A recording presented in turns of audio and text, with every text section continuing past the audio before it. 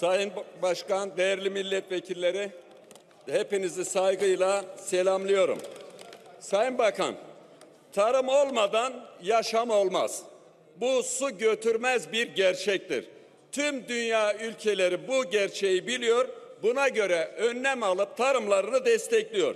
Onlar doğrusunu yapıyor. Peki siz ne yapıyorsunuz? Herkes giderken Mersin'e, siz gidiyorsunuz tersine. Tam da tam da bu nedenlerle tarımın doğup yaşam bulduğu, tarım devrimlerinin yapıldığı bu topraklarda ne acıdır ki refahı değil, yoksulluğu değil, açlığı konuşur duruma geldik. Biz siz bu duruma üzülmeyebilirsiniz ama bizim bu duruma yüreğimiz parçalanıyor. Sayın Bakan, göreve geldiğinizde bir meslektaşınız olarak liyakatlı bir bakan geldi diyerek ümitlenmiştik. Ancak yaptığınız görev süresince gördük ki bu ümidimizin boşa çıktığını tespit etmiş olduk.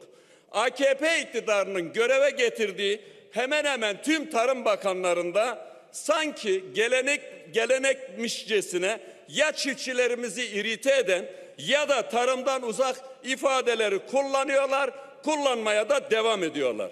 Örneğin ilk başta çiftçimize ananı da al git diyenleri gördük. Sonrasında bir bakanınız geldi, gözünüzü kara toprak doyursun dedi. Sizden önceki bakan da kepek fiyatları çok arttı diyen bir çiftçiye kepek ekin öyleyse dedi.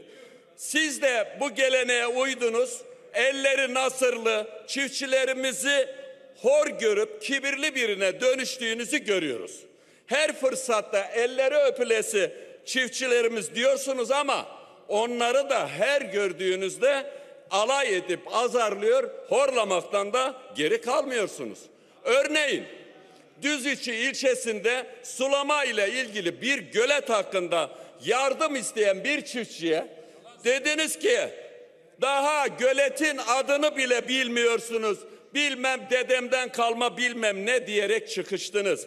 Bu durumlar sizi üzmese de bizi üst, derinden izliyor ve çiftçiyi de olumsuz etkiliyor. Kendiniz ben doğruyu söylüyorum.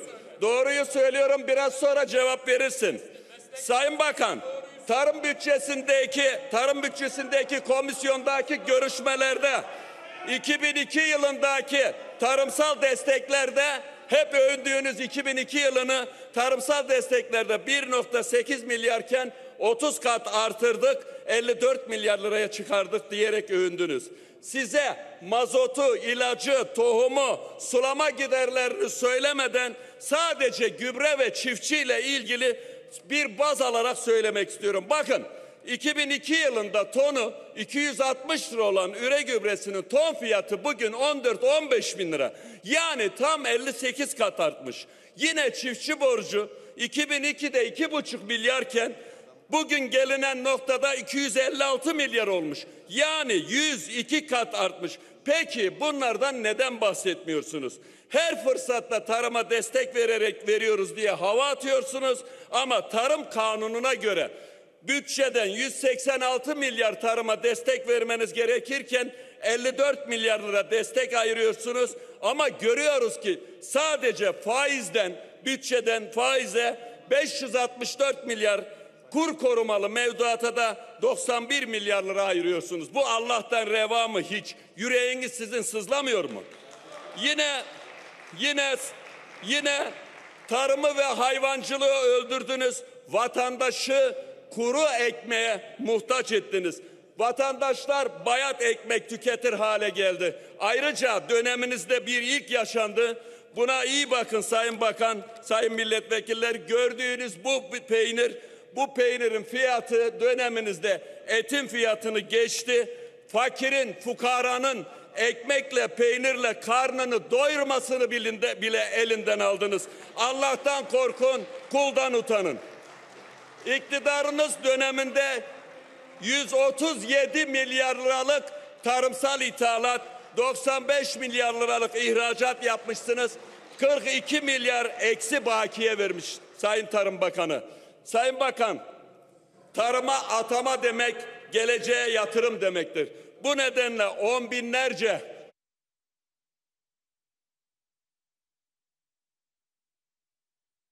Bu nedenle on binlerce ziraat, gıda, veteriner hekim, göreve hazır olan teknisyenler, tekniker gruplar var.